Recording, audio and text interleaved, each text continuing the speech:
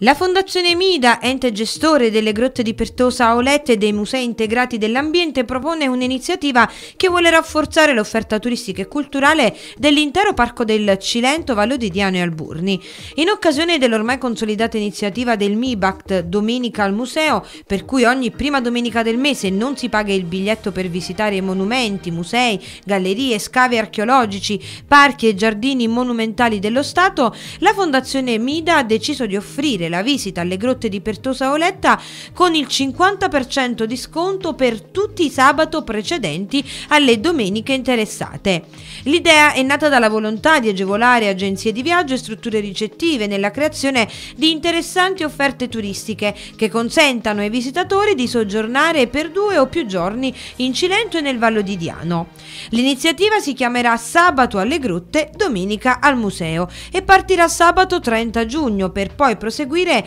in questa prima fase fino al 5 gennaio 2019. Per il percorso completo le tariffe promozionali prevedono l'ingresso gratis per i bambini da 0 a 5 anni, mentre gli adulti pagheranno 10 euro anziché 20 euro e il biglietto ridotto costerà 7,50 euro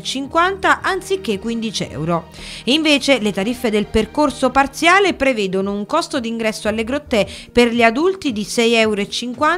anziché 13 euro e per il ridotto di 5 euro anziché 10 euro.